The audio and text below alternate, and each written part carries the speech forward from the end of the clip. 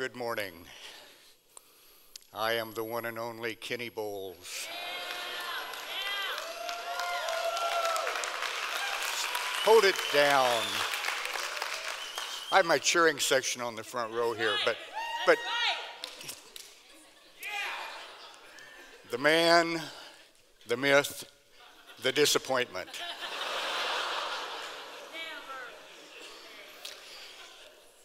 So, three and a half years ago, I stood on this platform and preached my final chapel sermon. Done, over, won't ever have to do that anymore. And my lovely wife, Linda, was standing here, and she got the flowers, and, and I got the plaque, and we walked off into the sunset. Done, finished never have to do that again.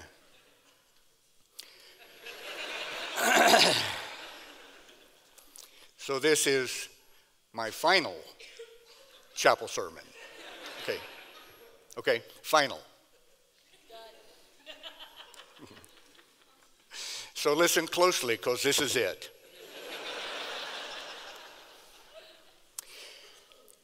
Give it up, Jesus.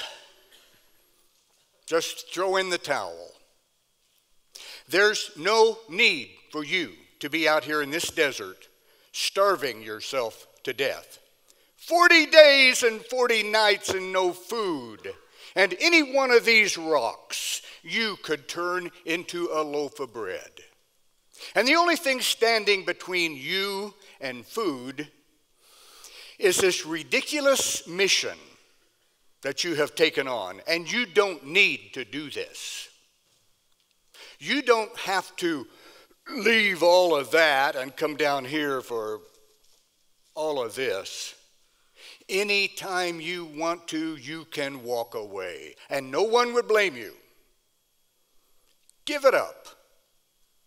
Eat a rock. Enjoy yourself. At times I have wondered how hard was it for Jesus not to give it up?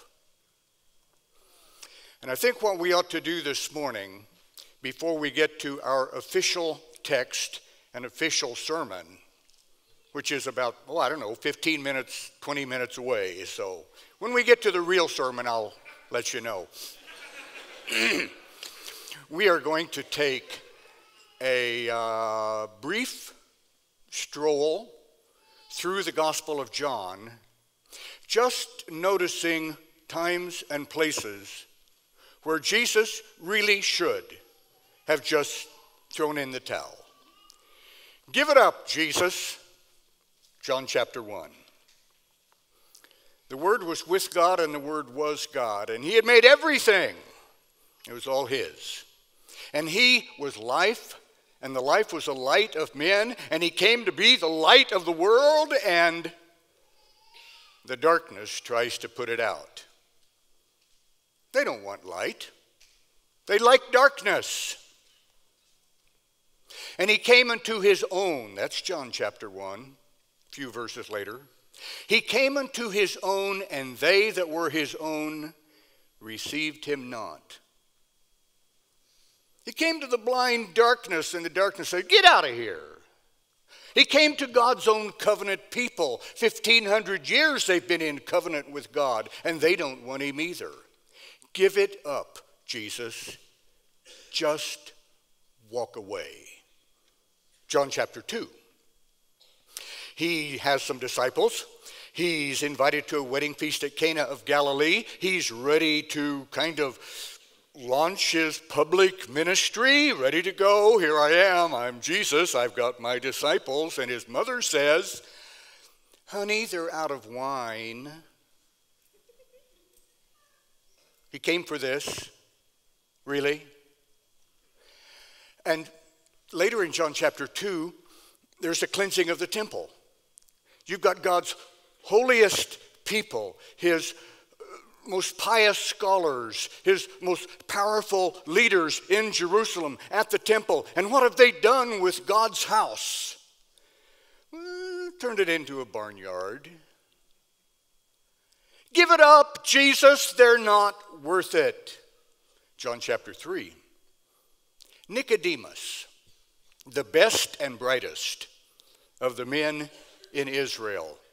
And he comes to Jesus by night to ask, you know, what's this all about and what do I need to do and all that kind of stuff. And Jesus has the answer you must be born again. Unless you are born of the water and the blood, you'll never enter the kingdom of heaven. And Nicodemus, the best and brightest, listens to Jesus' simple explanation you've got to be born again. I, he doesn't get it. Give it up, Jesus. If the best and the brightest don't understand what you're saying, what's the point? It's like me in a Greek class at 7 o'clock in the morning, and I'm writing declensions on the board, and I turn around, and half of them have fallen asleep. Just give it up. So I did.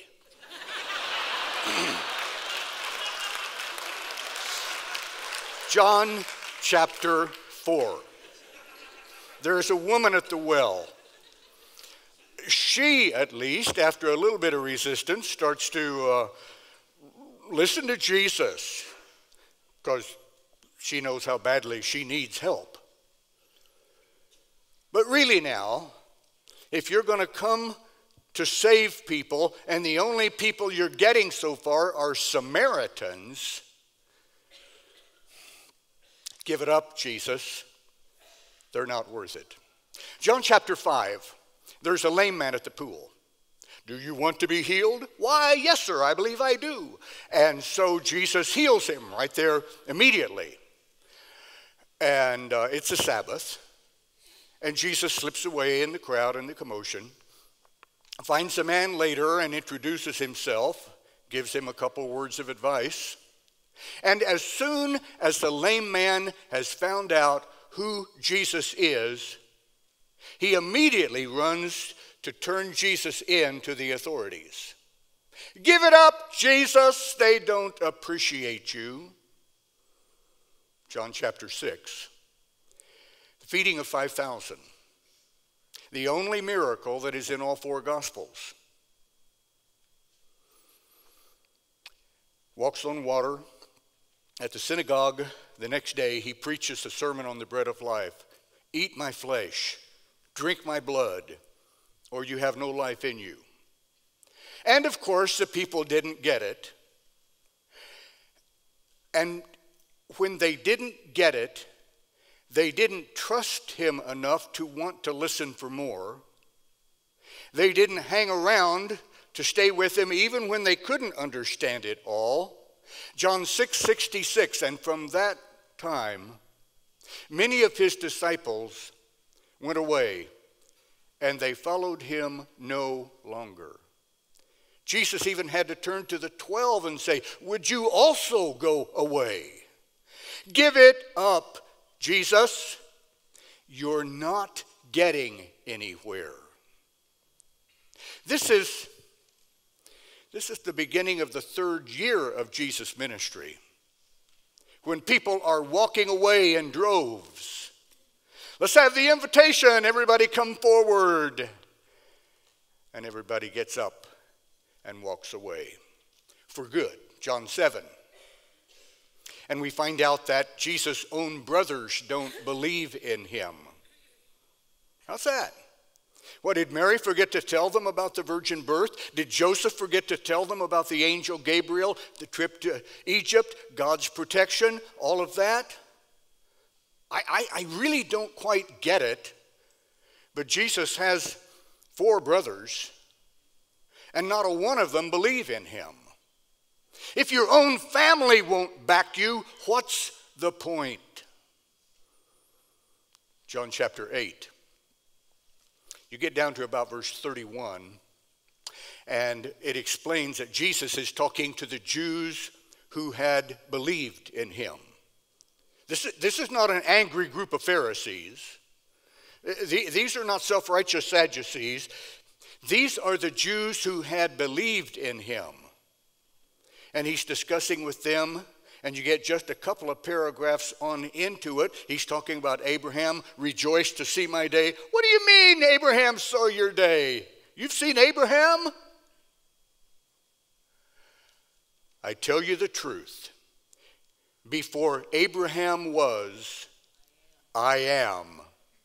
And these Jews who had believed in him picked up stones to stone him to death. Give it up, Jesus. These people are never going to believe you. They're never going to submit to you. Your own believers, believers, want to kill you. John chapter 9. His disciples are idiots. Walking along in Jerusalem, here's a blind man begging. Well, my goodness, Jesus, uh, who do you suppose sinned, that man or his parents, so that he was born blind? That man maybe was the one who sinned so that he would be born blind. Okay, makes sense to me. Or the parents may be saying, Honey, wouldn't you like to have a blind baby? I've always thought a blind baby would be a great thing to have, so why don't we sin and then we. So, Jesus heals this blind man. And by the way, this is not the first blind man that Jesus has healed. His disciples have seen him heal blind men before, and this time they come, and here's the beggar, the blind man, and they're wondering this theological question whose fault is it, this man or his parents, that he was born blind? Why aren't they expecting a miracle? John chapter 10 the good shepherd who lays down his life for the sheep. And the good shepherd who says, I am come that you might have life and have it abundantly, have it to the full. And to this day, a large percentage of followers of Jesus still believe that it is his job to make them happy. It is his job to make them healthy and wealthy and wise. And anytime he fails on that, there's something wrong with him because that's what Christianity is all about me having an abundant life.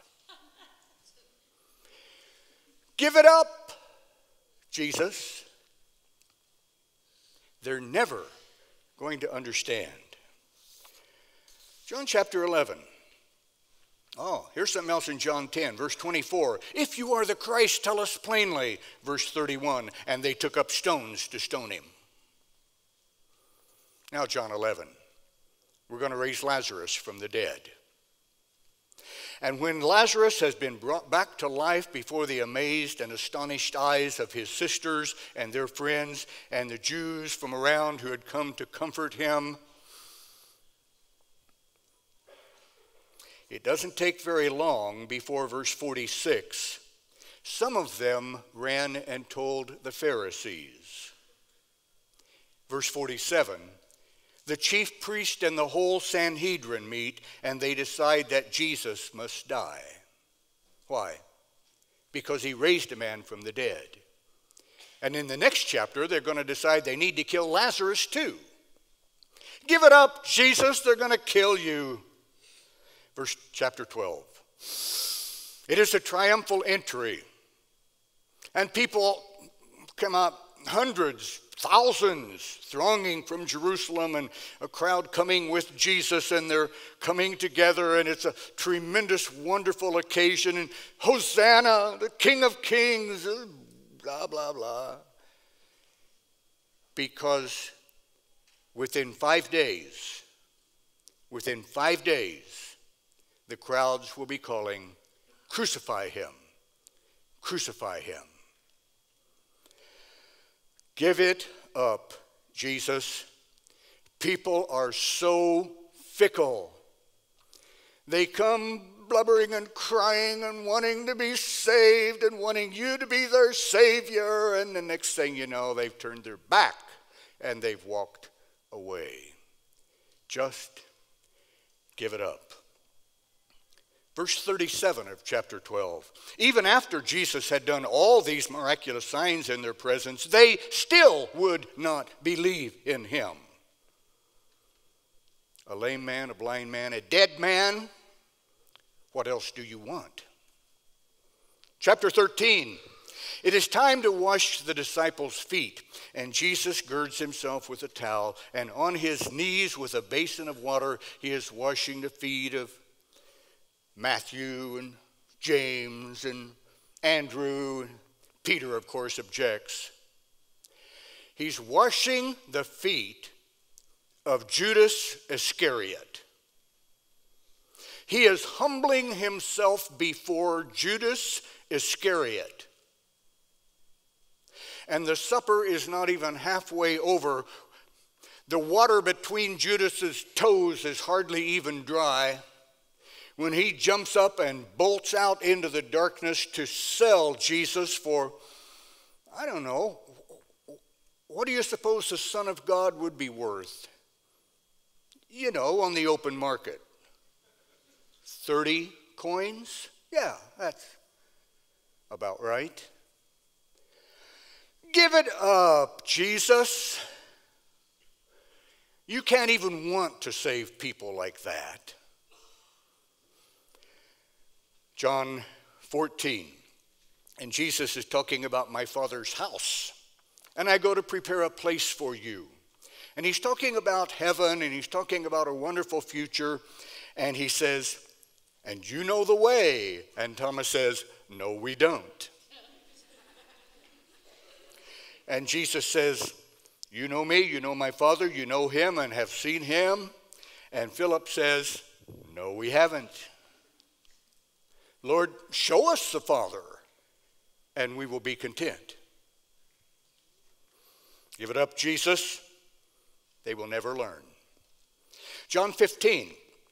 Now, I was going through my book of John and I couldn't find anything wrong in John 15. You know why? It's all red letters. That's it. I didn't want to find anything wrong there. I can't complain. John chapter 16 and uh, some black letters in verse 17. And some of his disciples said, what, is, what does he mean? And verse 18, they kept asking, What does he mean? Give it up, Jesus.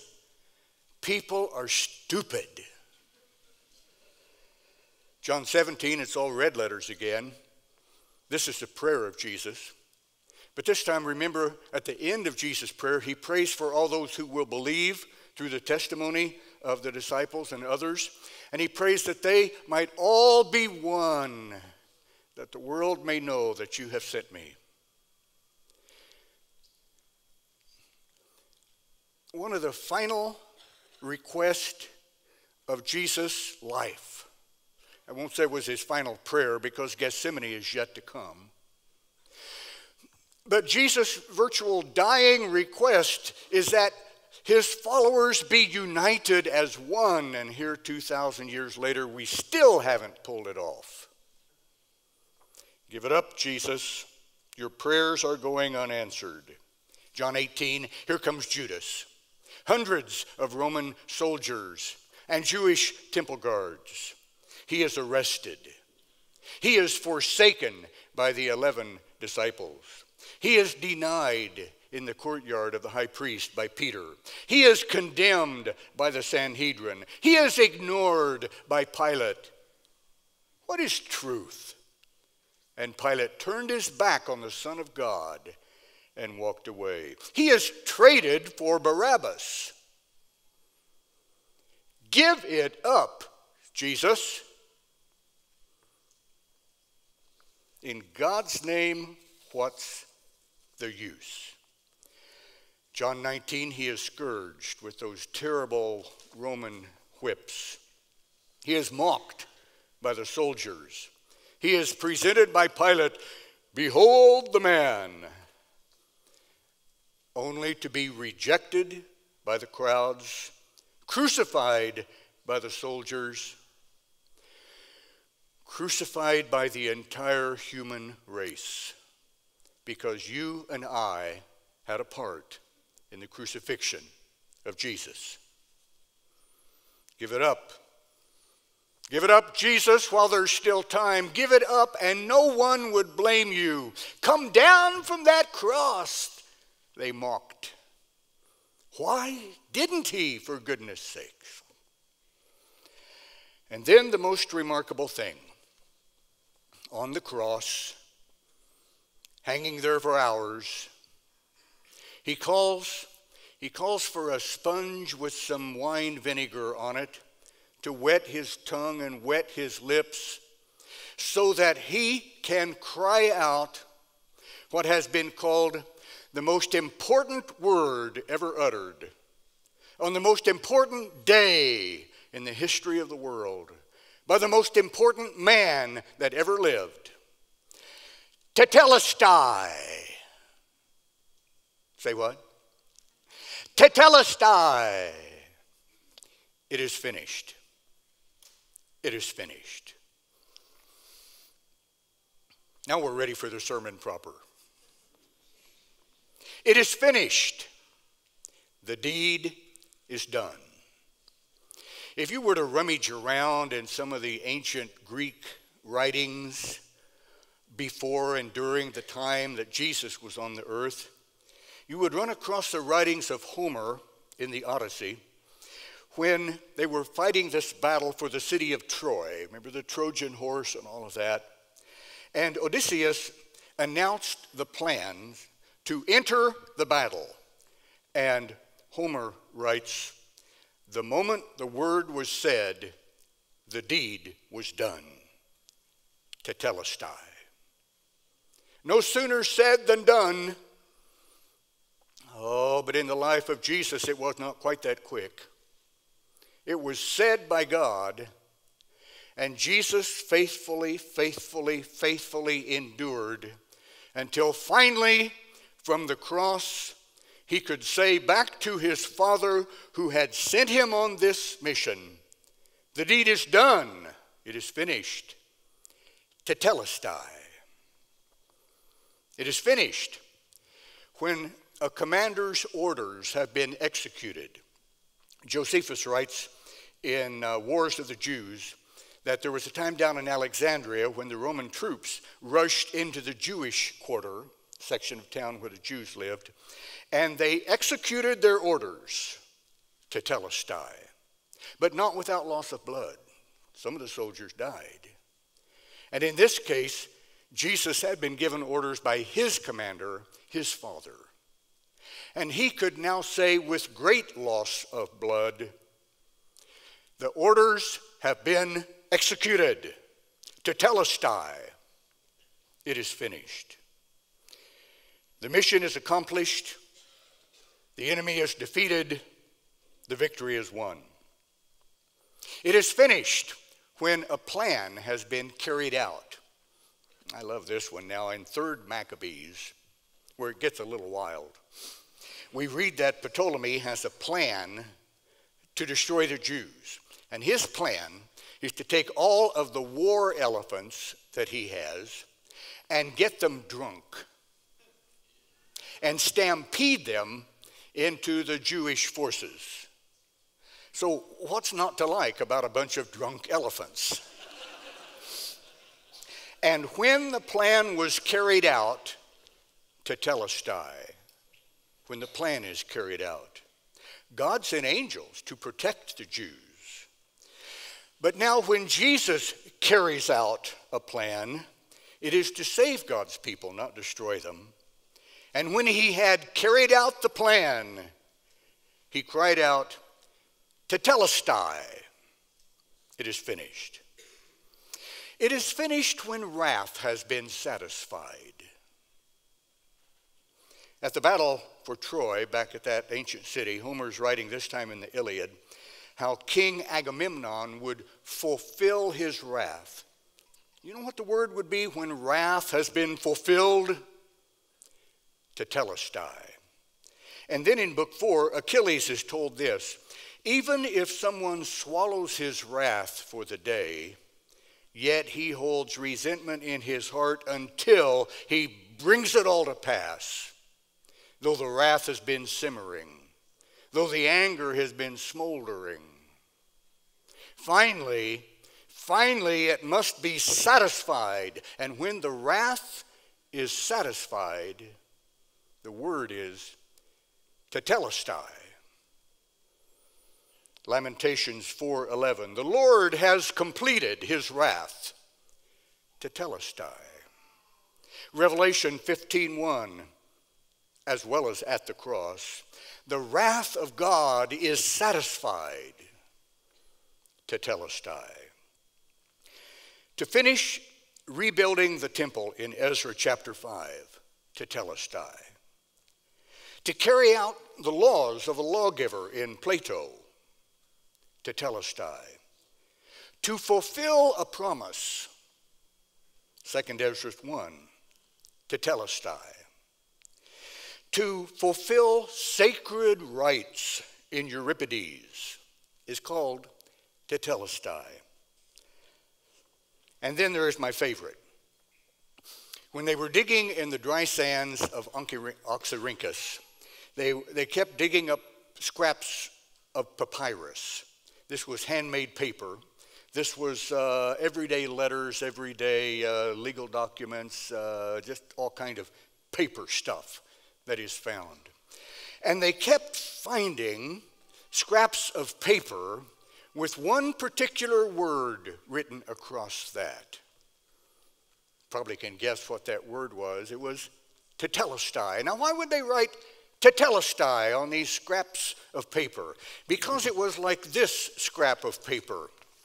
If archaeologists someday unearth Arvest Bank and open up all the safety deposit boxes, they will find scraps of paper like this one. It's an old promissory note. I bought a car. I borrowed money. I owed a debt I could not pay, but I worked at it. And finally, finally, when the debt was paid, they took their little stamp, and I don't know if you can see it down there, but it is stamped paid. Paid in full. When a debt is paid, it is tetelestai. When a plan is carried out, when a promise is kept, when a work is finished, it is to tetelestai. And from the cross, the cry of victory from Jesus Christ our Lord rings across the centuries. The mission on which he was sent the job he was told to do, the victory that he was responsible to win, and the debt he had to pay was finished. Let's pray. Our Father in heaven, we are so thankful for Jesus Christ, your Son, who came to be our Savior and paid our debt and won our war and kept your promise and cried out in victory. Father, help us in Christ to live the victorious life which he died to give us. Help us, Father, to love him, to follow him, to believe him, to honor him with our lives. And even as he never gave up and never quit, so may we never quit on him. In the name of Jesus, we pray. Amen.